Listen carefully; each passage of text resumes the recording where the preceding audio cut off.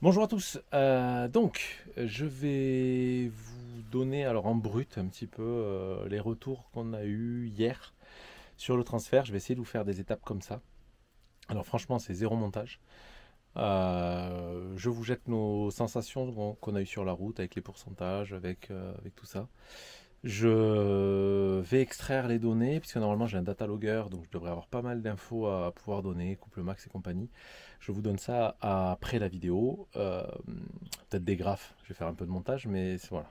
Euh, c'est le minimum. Voilà. Juste pour que vous ayez des infos, je pense que ça intéresse certains de savoir euh, comment on se comporte sur la route. On va essayer de faire ça à chaque transfert, à chaque étape. On va appeler ça les vidéos d'étape. Euh, si ça vous gonfle, vous me dites. Euh, si ça vous plaît, vous me le dites aussi. Euh, de toute façon, il faut qu'on trouve un petit peu nos marques, qu'on apprenne à qu'on apprenne à faire un peu de vidéos et des YouTube. voilà. C'est pas c'est pas naturel pour nous. J'espère que ça va aller de mieux en mieux et je compte sur vous pour nous aider. Voilà. bon visionnage. Bon, donc là on va partir. Donc c'est le premier, la première étape que je vais vous filmer. Donc je vais essayer de vous faire ça régulièrement. L'idée c'est que vous puissiez voir à combien de pourcentage de batterie on part, euh, comment on roule, qu'est-ce qu'on voit et comment ça se passe pour la recharge entre deux étapes. Donc c'est la première étape, en plus elle est un petit peu faussée parce qu'il y avait beaucoup beaucoup beaucoup de vent. Euh, donc on a demandé au camping si on pouvait se brancher en triphasé, ce qu'on a fait. Donc ce qui fait qu'on part avec 97, euh, alors hop, je sais pas si on le voit, Hop, voilà, 97,22%. Euh, donc là, on est replié et on met tout de même 4,6 euh, kW dans les batteries, comme on voit là. Donc on va essayer de partir. Euh, là, j'ai mis le GPS en direction de AK. C'est à 84 km. Et donc là, vous voyez le profil de route. Donc on a beaucoup de descente au départ. Euh, les, les 10 premiers kilomètres, on a de la descente. Bon, après, c'est gentil. Hein, le dénivelé, je crois qu'il y a, ouais, ben, il y a 248 mètres euh, de dénivelé positif et 253 de négatif. Donc, on va voir. Si on a cette batterie, on tirera jusqu'à Tata. Euh, voilà. Bon, allez, j'essaie de vous montrer ça pendant la route. C'est bon? Ouais. Bon, on est parti. Donc, ben, on le savait, ça le fait, à chaque fois, ça le fait. Quand on, quand on roule alors que les batteries sont pleines, en fait, on n'a pas de régénération possible euh, parce que là, elles étaient presque pleines. Vous voyez, euh, juste sur un freinage, je suis passé à 99%. Donc on est vraiment, plein en fait en termes de tension. Et donc on peut pas, on peut pas ralentir le bus. Donc là, il a fallu, euh, pour passer un dodan, là, il a fallu que j'utilise le frein, ce qui faisait longtemps qu'on l'avait pas fait. Voilà. Là, on me dit, de toute façon, faut le faire de temps en temps, sinon ils vont rouiller les freins à force. Donc voilà. Donc on est parti, euh, je pense que je vais mettre euh, régulateur à 40 km/h comme d'hab. Et, voilà, donc 40 euh, km/h en quatrième, ça fait 10 000 tours minute pour le, pour le moteur électrique. En sortie de moteur électrique avec la réduction, ça fait 1050 tours. Donc la boîte elle est en plein dans son régime. là on est à 200 Nm pour, pour tirer droit sur 1600 encaissable par la boîte. là c'est tout facile, voilà on montre devant comment c'est facile aussi. La route, elle est, euh, elle est à nous. Voilà, ça va être, euh, ça va être crème. Voilà. C'est bon. Donc, euh, donc on roule. Bon, ça va, on est encore à 98%, donc c'est pas, il n'y a pas de souci. Et on s'aperçoit d'un truc, on comprenait pas trop pourquoi. De temps en temps, le régulateur de vitesse, il nous fait comme des à-coups.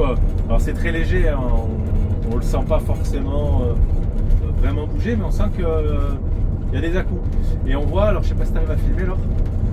Ici la, la position Potnum, alors je sais pas si ça va le faire. Vois pas. L'écran est noir. Ah mince. Ah, si, là. Euh, Potnum en fait c'est la position de mon accélérateur parce qu'en fait le régulateur de vitesse euh, il gère l'accélérateur. Donc là on est à 11% de l'accélérateur. Et je viens de, comprendre pourquoi il faisait ça, c'est quand on est quasiment à, à 0 Nm ici, c'est-à-dire qu'en fait il n'y a pas besoin d'énergie pour faire avancer le bus il régénère pas, mais il consomme pas non plus. Et là, il a du mal à, verrouiller le zéro, quoi. Donc je pense, alors il y a plein de paramètres pour ça. Donc je doute pas qu'il y, ait euh, un paramètre sur lequel je puisse travailler pour avoir cette info. Mais là, pour l'instant, euh, voilà, c'est pas, pas trop gênant, euh, on le sait. Il aime pas être à zéro de consommation, être sur le fil comme ça, ça lui va. Attends, je vais montrer la route parce qu'elle est jolie. Ah, la route est jolie. Allez, montre la route Ça fait un peu désert quand même. Bah, c'est un peu l'idée. Ah oui, parce qu'il y a. hein, on, on est seul au monde. Il y a une voiture Voilà. qui va nous doubler. Attention, attention, il y a une voiture qui va Oula, oula, une voiture. Oh là là là là là là.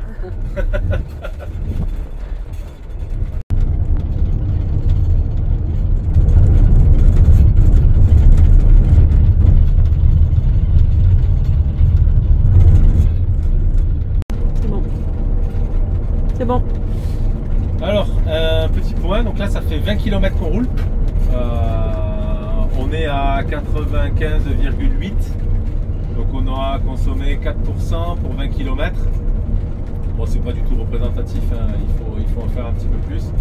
Mais malgré tout, euh, ce que je peux vous donner comme info, c'est qu'on est à 33 degrés sur l'inverter, 96 degrés sur la température du moteur. Donc vraiment là ça chauffe pas. On est sur du plat, euh, on est à 19 kW de consommation. euh. là je pense qu'on va, on va peu consommer au final sur ce trajet là. Peut-être qu'on va réussir à aller jusqu'à Tata. Ce serait pas mal, ça nous ferait 156 km au lieu de, des 86 qu'on avait dit. Donc on fera le point à mi-parcours euh, pour savoir ce que ça donne. Tiens, alors tu peux montrer le paysage, c'est quand même relativement joli. Ah ben là il y a de la montée quand même. Ah, là, on monte, on va monter, Voilà. regardez. Voilà, enfin on va consommer là, on s'ennuie à pas consommer. Pas normal.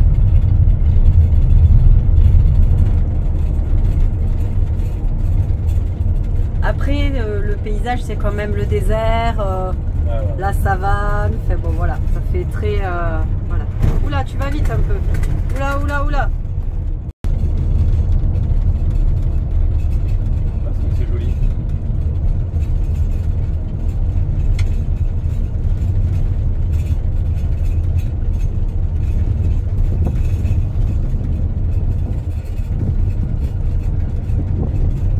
C'est bon. Donc euh, nous voilà deux paliers, donc on est à 40 km depuis le, départ et à 10% de, batterie, donc on est à 90% là de, batterie qui reste. Ce qui fait qu'on est bien sur du 400 km. Alors un peu plus à mon avis parce qu'on est parti, comme je vous l'ai dit, on était à 96%. Alors il est remonté à 99 parce que quand euh, j'ai fait un peu de descente de frein moteur, ça l'a remonté artificiellement à 400 volts et automatiquement le BMS euh, considère qu'on est à 99%. Voilà, plutôt, plutôt bon trajet, tout se passe bien, 42, 42 degrés pour l'inverter, 135 degrés pour le moteur.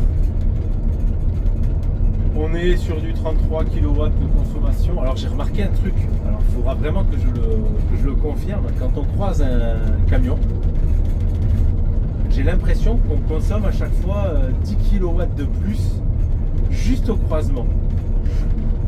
Ça veut dire qu'il faut éviter les croisements si on veut faire rouler plus longtemps. Donc je vais me mettre sur la bande d'arrêt d'urgence.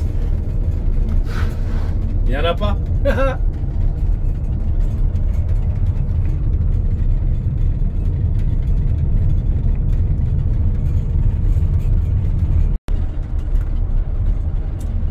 Nous allons passer dans une tempête de sable. Alors, je sais pas si on la voit là. Je sais pas si ça s'appelle comme ça, mais il y a un beau nuage de sable qui part de là-bas, là, complètement à gauche, et qui traverse. Là, on voit un camping-car qui arrive en face, ou un camion, qui est Qui dedans, était dedans lui. qui était dedans. Là, on le voit. Non, là sur l'écran on le voit pas encore. Ah, d'accord, ouais, ouais. Mais euh, ça y est, on le voit là, un petit peu là. Et tout ça, c'est plein de sable. Donc, Ouais. euh, et on va y passer dedans. Ça paraît difficile de l'éviter. Voilà.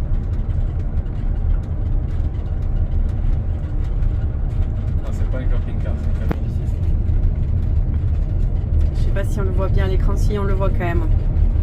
On voit qu'il y a un nuage, hein, c'est un peu bizarre. hein.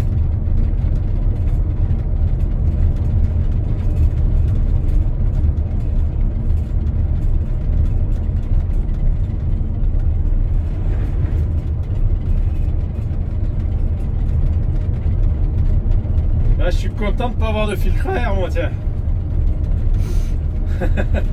ah mince, il faut faire attention, la clim. La clim, peut-être qu'il faudra la nettoyer. hein. Tu viens de t'apercevoir que tu avais oublié Ouais, je viens d'y penser. En fait, je me disais que j'avais pas de problème de filtre à air, contrairement aux autres, puisque bah, j'ai pas d'air. Euh, hormis au compresseur d'air, ça c'est pas très très grave. Et par contre, j'ai la j'ai la pompe à chaleur. Et là en plus, le vent il va pousser le sable dans la pompe à chaleur. Euh, donc là, peut-être qu'il faudra que j'y fasse un coup de soufflette. Si Laure elle arrête de tousser, vous aurez entendu qu'il fallait que j'y fasse un coup de soufflette. Arrête de mourir. Oh là là. C'est à cause de la poussière.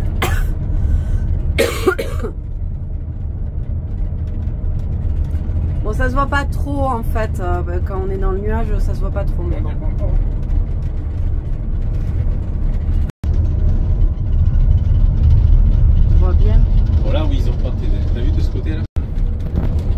On est dans la tempête de sable, donc on voit bien le sable arriver. Euh, Loïc, il va me falloir GG là. Attends, vas-y, refais l'appel. Euh, Loïc, euh, il va me falloir GG. Parce que je suis sûr que là, ils sont pires qu'à Tiznit. Ah ouais, là, là, là, là, ça ramasse là. Oh Je sais pas là si là vous là là. voyez, mais là, Ah, GG, faut que tu reviennes. Il a besoin. c'est bon. Bon, on est à 80% de batterie. Il nous restait 10 km pour arriver à K et on a pris la décision donc, de ne pas s'arrêter à 80%, ce serait vraiment dommage. Donc euh, on part sur euh, Tata. Il nous reste 66 km à parcourir. Euh, globalement, on est à la moitié. On va finir sur 60% de batterie arrivé à Tata mais on va arriver vers 18h, ce qui est relativement tard. Un peu moins, ouais, 18h à peu près. Ah, voilà. Donc changement de plan, on va un petit peu plus loin que prévu. J'espère qu'on pourra charger là-bas. On va faire la même chose que ce qu'on a fait euh, au camping. On va essayer de, se mettre sur le triphasé, de voir avec euh, le propriétaire du camping pour pouvoir recharger euh, très vite dans la nuit et rerouler demain. L'idée c'est vraiment de, faire pas mal de kilomètres pour, euh, remonter, euh, pour remonter sur Tanger ou sur Nano. Euh, voilà. Voilà, alors on voulait absolument vous montrer ça, je sais pas si vous le voyez, mais au milieu de nulle part, mais vraiment quand je dis nulle part, c'était nulle part, hein. depuis des kilomètres nous avons ben, rien. Il y a un piéton. Donc on se dit le pauvre, euh, il lui reste du trajet à faire, je ne sais pas où il va, mais bon courage.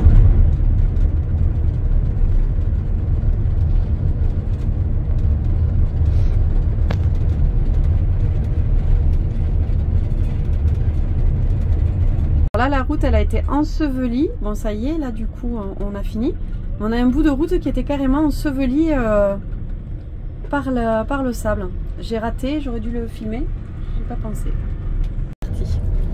Euh, apparemment, alors faudra que je fasse le point parce que euh, vu que j'ai changé de destination en cours de route, on aurait parcouru 100 km puisque c'était 156 km pour aller jusqu'à Tata et que là il me reste 54 km. Et on est à 75% de batterie. Donc euh, un quart. Euh, ça fait donc euh, les 400 km d'autonomie euh, qu'on avait déjà constaté entre Essaouira et Marrakech euh, sur du plat et en roulant pas tout. Voilà.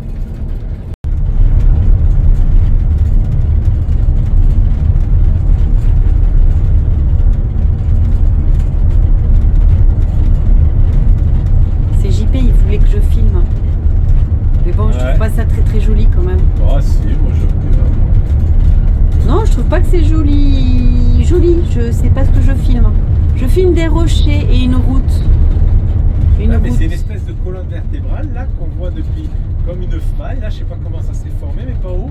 Comme une bébé montagne là. euh, Je sais pas comment ça s'est formé ce truc. Géologiquement, c'est bizarre quand même.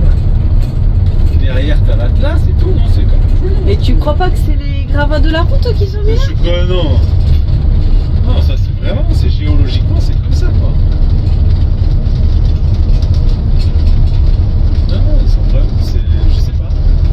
Il y a le sable qui est en train de l'ensevelir, enfin, je sais pas, c'est.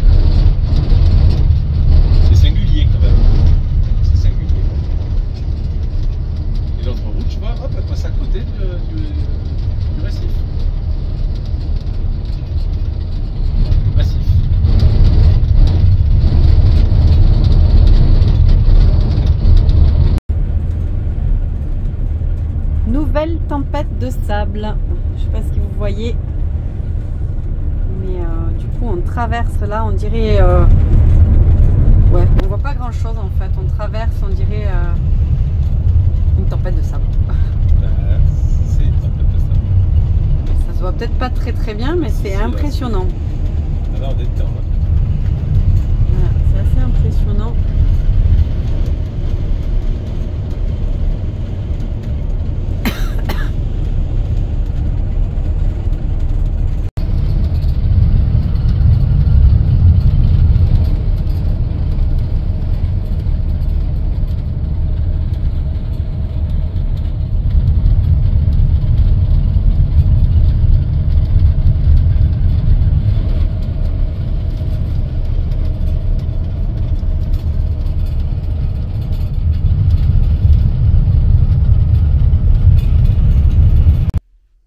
Donc euh, voilà, bah, trajet qui s'est passé sans encombre comme vous l'avez vu, euh, aucune difficulté particulière.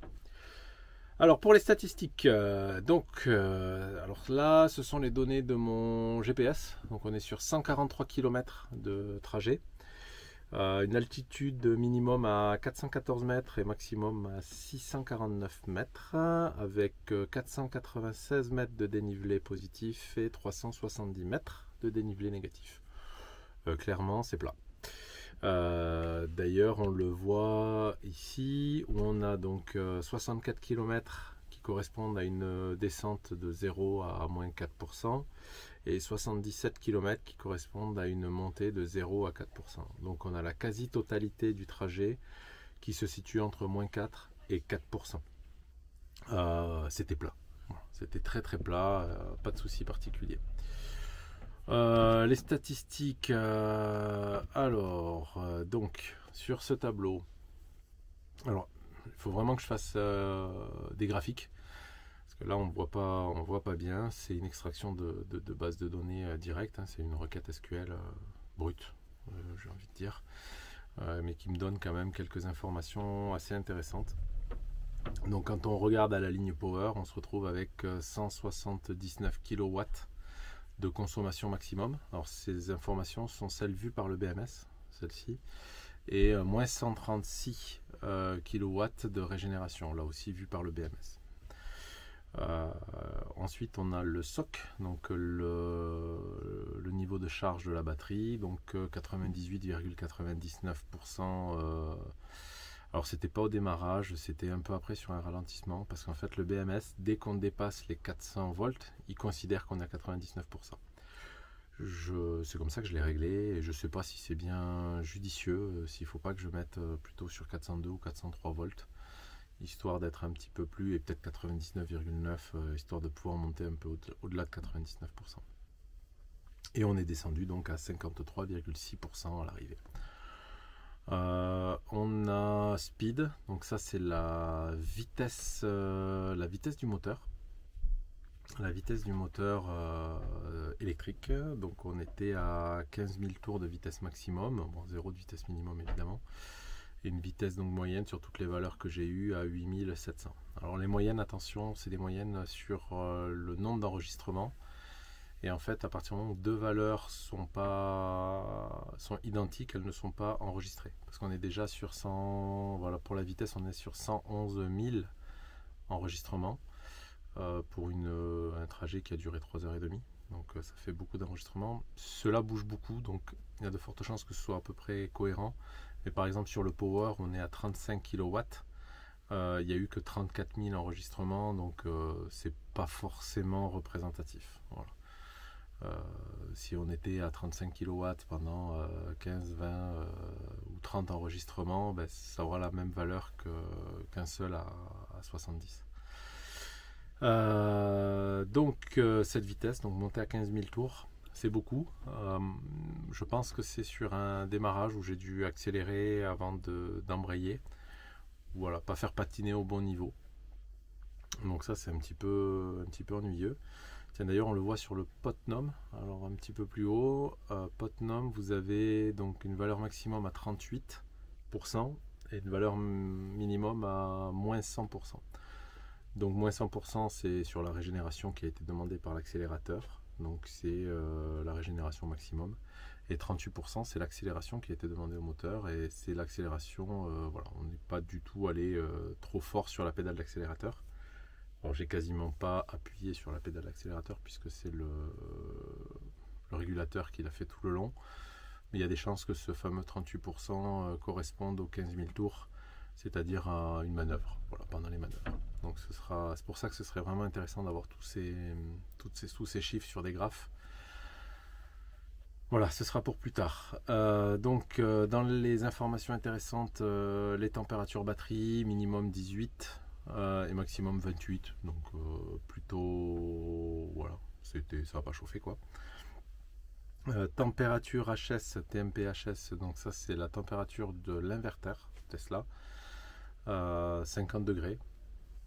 Alors je crois qu'il est réglé pour, euh, pour s'arrêter à 80 degrés euh, pour le préserver, donc il ne faut pas monter plus haut. Donc 50 degrés, il n'a pas du tout du tout chauffé.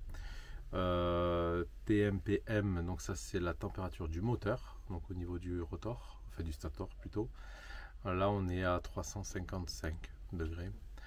Euh, pareil, euh, je crois que le réglage d'origine il est à 300 degrés pour la, pour la coupe. Donc on est, on est largement, largement dans les valeurs euh, acceptables. donc ensuite la fameuse valeur torque, donc le couple. Donc on est à 1686 Nm de couple maximum utilisé et moins 1583 Nm sur de la régénération. Donc on est, euh, voilà, on est, on est dans une bonne. Euh, ce que la, boîte peut encaisser ça sans aucun problème. Ça, il n'y a pas de, pas de souci. Euh, la tension de la batterie, si par contre au niveau du couple, donc on est sur une moyenne à 229 Nm, ce qui correspond à ce que j'avais à l'écran à peu près régulièrement sur tout le trajet. Donc voilà, c'est assez, assez cohérent. Pareil pour la puissance, à 35 kW, c'est à peu près ce que j'avais sur, sur le trajet c'est assez cohérent. Euh, vitesse boîte 1549 euh, tours, minutes, donc on est euh, dans, la plage d'utilisation de la boîte sans, problème. La tension, on était à 400 volts en pointe, en maximum, 400,5 et on est descendu à 349. La batterie est donnée pour être à 403 volts en tension complète, complètement chargée et tension minimum, donc complètement vide à 288 volts. Donc là, euh, c'est ben, toujours pareil, c'est cohérent. Vraiment aucune difficulté euh, sur ce, sur ce trajet. Les autres euh, seront peut-être un peu plus compliqués. Alors on, contourne l'Atlas pour éviter le mauvais temps qu'il y a au nord de l'Atlas. Donc c'est possible qu'on reste sur des trajets plats pendant encore quelques, quelques transferts, donc je sais pas, je sais pas si ça vaut le coup de les, voilà, de les filmer, de les documenter derrière, ou s'il faut que je le fasse uniquement quand on sort de, de la normalité. Donc ça, je vous laisse euh, me, donner ces infos en commentaire. Dites-moi si, si ça vous plaît ce genre de vidéo. Alors c'est un peu brut parce que si je dois faire le montage, ben, je le finirai, voilà, je le ferai certainement jamais. J'aurai, je vais faire plus de kilomètres que de montage, j'espère un peu l'objectif du voyage. Donc je, reste, euh, je, réserve les montages vraiment pour les parties techniques. Euh, je suis en train de préparer la vidéo euh, sur les panneaux solaires. voilà, là j'y passe un peu de temps parce que c'est une vidéo qui va rester dans le temps. ça, ces vidéos-là, c'est vraiment pour donner des retours, des retours valeurs parce qu'on me demande pas mal d'informations très précises. Donc je pense qu'il y a des gens qui doivent être intéressés par, par du rétrofit aussi. Donc vous, vous donnez mon retour mon retour, ça peut, euh, ça peut aider quelques personnes, donc je préfère, je préfère le faire. Voilà, ben écoutez, euh, j'espère que ça vous a plu et ben à bientôt.